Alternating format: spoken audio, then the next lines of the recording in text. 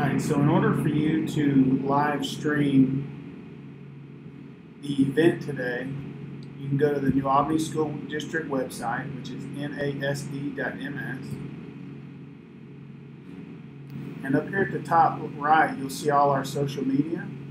The very last one's called Periscope. When you click on it, it'll take you to our live stream of today's event. We'll have two cameras running, so you can pick which one you want to watch.